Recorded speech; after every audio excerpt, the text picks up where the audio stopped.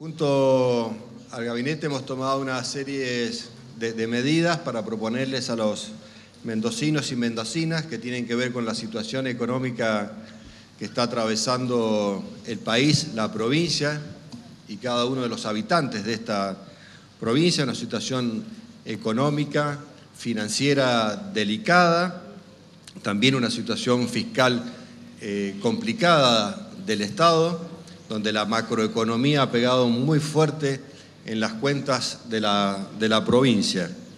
Una provincia donde tenemos prácticamente 50.000 personas desocupadas, donde tenemos el 40% por debajo de la línea de la, de la pobreza, como lo dijimos en la, en la campaña, que nosotros íbamos a escuchar a los mendocinos, que vamos a tener mucha cercanía con los mendocinos y mucha empatía con ellos, nosotros entendemos que la austeridad, la austeridad tiene que comenzar por, por el Estado y por la política. Dijimos que íbamos a reducir el costo de la política en la, en la campaña.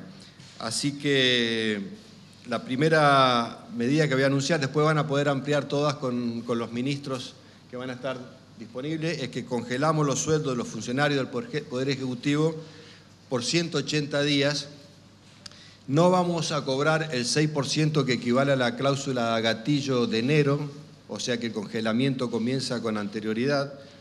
Y vamos a invitar al Poder Legislativo, a la Cámara de Diputados y a la Cámara de Senadores que adhieran a esta medida y también al Poder Judicial.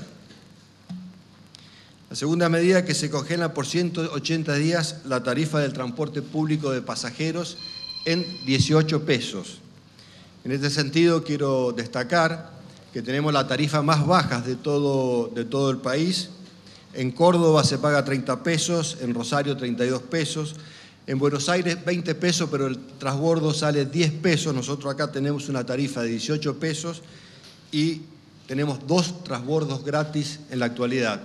Esta es la manera de estar cerca de aquellos que más lo necesitan en Mendoza, aquellos que van a, trabajar a diario, que a veces realizan hasta cuatro viajes eh, por día, aquellos que están buscando trabajo, eh, también creo que es la, medida que más de cerca les llega a aquellos que menos tienen.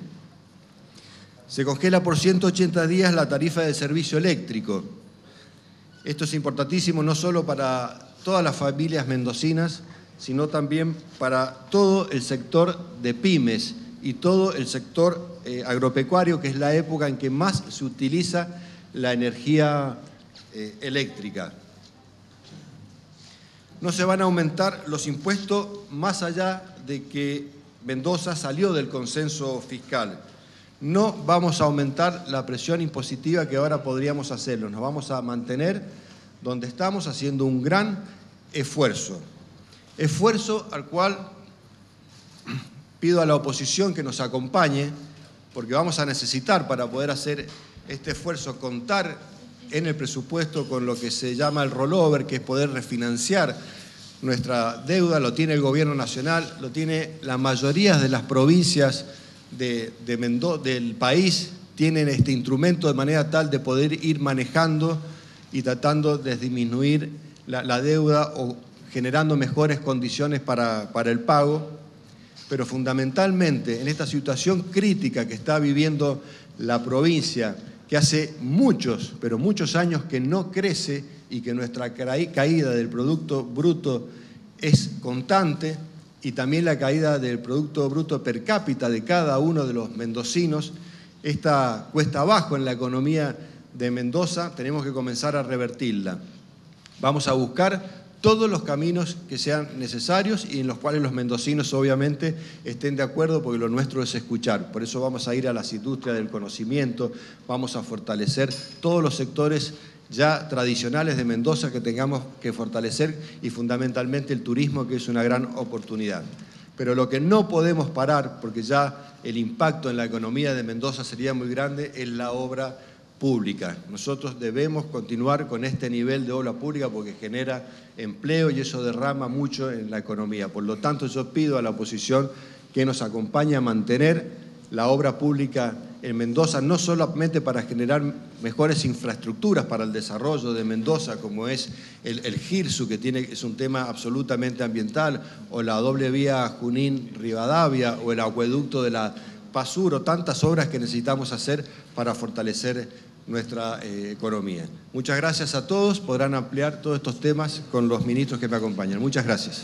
Despedimos al gobernador Rodolfo Suárez. Ahí escuchábamos, Mario, las palabras de Rodolfo Suárez. Ahora estarán eh, disponibles los ministros eh, de Economía, de Gobierno y también de Hacienda, como así también el propio secretario de Transporte, eh, quienes van a estar a cargo de las preguntas. podemos, vamos a comenzar. bien. Eh, Sebastián Goiburo para Canal 9, en principio para el ministro de Hacienda, Lisandro Nieri, eh, esta serie de congelamientos, eh, cómo va a afectar a las arcas y cómo se va a hacer frente teniendo en cuenta los números y la baja de la recaudación de los últimos meses. ¿Qué tal? ¿Qué tal? Muy buenos días. Bueno, obviamente las medidas son diversas en cuanto al signo de impacto fiscal que tienen. El caso de, la no aplicación de, la alícuota, de, perdón, de la cláusula gatillo a funcionarios en el último mes, más todo lo que ello implica en los, en los próximos seis meses, eh, tiene un impacto positivo. Eh, no tiene impacto en lo fiscal la medida eh, que es muy importante para, nuestro sector productivo, además de nuestros contribuyentes, lo que es eh, tarifa del sector eléctrico. Y eh, obviamente tiene, tiene un impacto, pero está, está estimado, está calculado y podemos asumirlo el caso del congelamiento de la, de la tarifa del transporte. Eh, los impactos, insisto, son diversos. lo único que podemos lanzar alguna, alguna estimación, más allá de las adhesiones de los, de los otros poderes invitados, es el, el, eh, congelamiento por 180 días de los sueldos de funcionarios. ¿Cuánto dinero representa? Nuevamente, es, muy estimado, así como es estimado el, número del 6% en función de la inflación que se observe pero aproximadamente son 42 millones de pesos. La siguiente pregunta.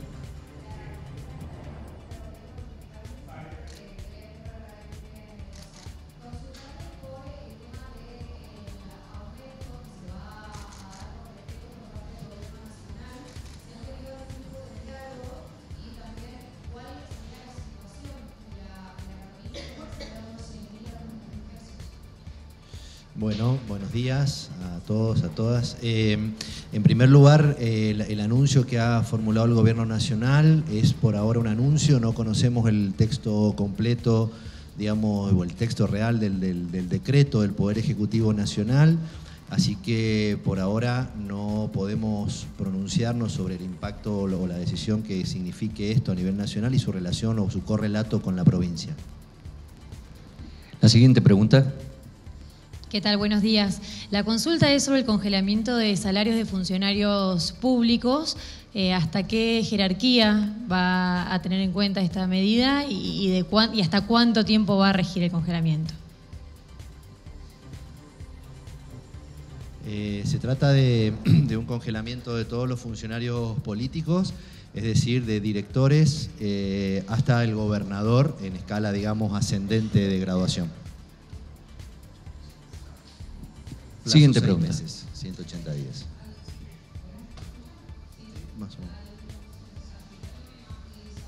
Bueno, ya están los ministros, los funcionarios del gobierno de Rodolfo Suárez respondiendo a algunas preguntas que trasladan colegas que están allí en el cuarto piso, en el Salón Patricias Mendocinas, en la calle Peltier 351, en el Palacio de Gobierno mendocino. Resumimos, congelamiento de salarios de la planta política de los funcionarios del Estado por 180 días y no cobrarán la cláusula gatillo del 6% que les correspondía este mes. Se congela también la tarifa eléctrica por 180 días, decisiones que ha tomado Suárez junto a su gobierno, no aumento de impuestos. Bueno, ya hace algunos años que en Mendoza los impuestos no aumentaban, sino que al contrario se iban bajando las alícuotas. Lo que sí varía es el avalúo fiscal de las propiedades para hacer el cálculo del inmobiliario y del automotor. Seguramente vas a pagar más lo que pagabas de impuesto automotor inmobiliario el año pasado, dependiendo del coche o de la casa que tengas, la alícuota se venía reduciendo. Bueno, ahora se queda igual que como estaba, pero el avalúo sí es el que se modifica. Y quizá el dato más relevante y más importante que tiene impacto en los bolsillos de los mendocinos es el congelamiento de la tarifa del transporte público de pasajeros. Estaba previsto, de acuerdo a la audiencia pública que se había hecho hace poco más de un mes, que la tarifa del transporte se va a ir a 25 pesos. Bueno, la decisión de Suárez es que se congele en 18 por los próximos seis meses. No habrá aumento del boleto el primer mes del año como sucede históricamente en Mendoza. Cada enero hay aumento. Ahora decidió Rodolfo Suárez que no aumentará el boleto. Por supuesto, todos los detalles, el repaso de cada una de estas medidas y las consideraciones la tendremos en profundidad en la edición mediodía de Noticiero 9. Nosotros ahora, 9.34, hacemos una pausa en Viva la Mañana, ya venimos.